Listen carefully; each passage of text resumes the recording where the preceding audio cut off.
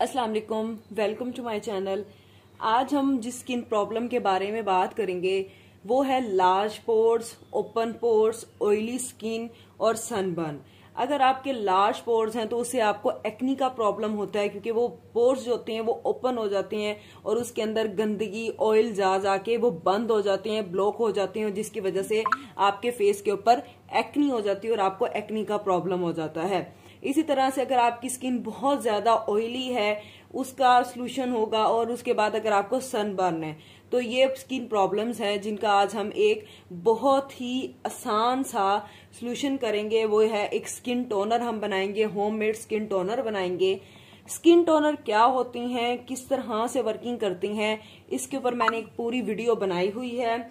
आप को लिंक उसका डिस्क्रिप्शन में मिल जाएगा। अगर आप उसको देखना चाहें तो आप देख सकते हैं कि स्किन टोनर क्या होते हैं और वो किस तरह से वर्किंग करते हैं। चले हम अपनी वीडियो को स्टार्ट करते हैं। लेकिन अगर आपने चैनल को सब्सक्राइब नहीं किया तो चैनल को सब्सक्राइब कर दें और बेल आइकन को प्रेस कर तो स्किन टोनर बनाने के लिए हमें जो जो चीज़ें रिक्वायर्ड है वो है खीरे का जूस नींबू अर्के गुलाब और एलोवेरा जेल ये जो अर्के गुलाब है, ये होममेड है, इसको घर में ही बनाया है। अगर आप भी जानना चाहते हैं कि हम घर में ही अर्के गुलाब कैसे बना सकते हैं, बिल्कुल केमिकल से पाक और जिसका रिज़ल्ट भी डबल हो तो इसका लिंक भी मैं डिस्क्रिप्शन में ऐड कर दूँगी तो आप वहाँ से भी देख सकते हैं कि हम घर में ही अर्के गुलाब कैसे बना सकते हैं। चले हम, इसको स्टार्ट करते हैं। सबसे पहले हमें ये खीरे का जूस है। इस खीरे के जूस के अंदर हम जो है वो थोड़ा सा नींबू ऐड कर देंगे। तो ये हमने इसके अंदर लेमन जूस को ऐड कर देंगे। तो ये हमारे पास लेमन जूस ऐड हो गया। तो ये लेमन जूस को हमने ऐड कर दिया है इसके अंदर। अब हम इसके अंदर क्या करेंगे? हम एलोवेरा जेल को ऐड कर देंगे। तो ये है एलोवेरा जेल। तो इसके अंदर मैं एलोवेरा जेल को ऐड कर दिया। बहुत ज़्यादा एलोवेरा जेल को आपने ऐड नहीं करना। तो यहाँ पे मैंने इसके हिसाब से एलोवेरा जेल को ऐड कर दिया है। अब जो हमारे पास नेक्स्ट स्टेप है, उसके अंदर हमने क्या करना है? पहले हम इसको मिक्स कर लेंगे। इसको मिक्स करने के बाद, ये देखिए, अब हमने इसको मिक्स कर लिया है।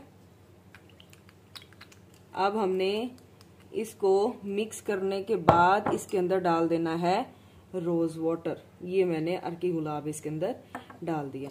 अब ये हमारे पास क्या है? एक स्किन टोनर बन गया है। अब आपने क्या करना है? आप इस तरह से डिप करें और इसे अपने चेहरे को साफ़ करें। ठीक है? आप क्या कर सकते इस तरह डिप करें और अपने चेहरे को साफ़ करें। या फिर आप ये देखें, आप देख सकते हैं डर्ट किस तरह से यहाँ से गंदगी रिमूव हो गई है। इस तरह से साफ़ करने से आपको नज़र आ रहा होगा।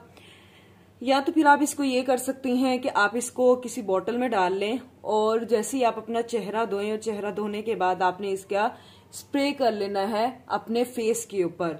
जब भी आपने मुँह धोना है तो उसके बाद आपने स्प्रे करना है अपने फेस के ऊपर या फिर आपने इस तरह कॉटन से अपने फेस के ऊपर इसको लगा लेना है। तो इससे जितने भी ओपन पोर्स हैं, वो क्लोज हो जाएँगे। और उसके बाद अगर आपकी स्किन बहुत ज़्यादा ऑयली है, उसका मसला भी हल हो जाएगा। ऑयलनेस खत्म होगी तो आपको एक्टिंग का भी प्रॉब्लम नहीं होगा। सनबर्न है तो भी वो ठीक हो जाएगा। तो ये बहुत ही आसान इजी रेमेडी है, जिसकी वजह से आपको बहुत ज़्यादा फ़ायदा हो सकता है। अच्छा इसके अंदर जो एलोवेरा जेल है, ये ऑप्शनल है। ज़रूरी नहीं है कि आप एलोवेरा जेल को ऐड करें। अगर आप कोकम्बर जूस रोज वाटर और लेमन को ऐड करते हैं तो वो भी ज़्यादा बेस्ट है, वो अच्छा है। लेकिन ये एलोवेरा जेल जो है, वो आपके पास क्या है? ऑप्शनल है।